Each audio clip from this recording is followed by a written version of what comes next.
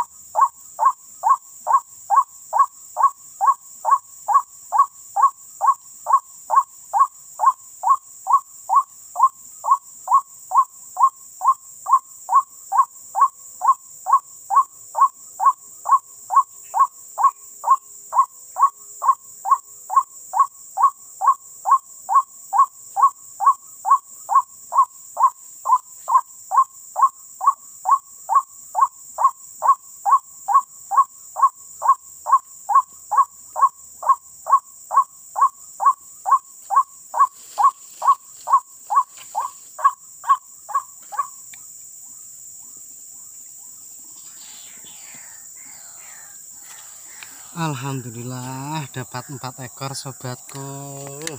Pancing pancang memang mantap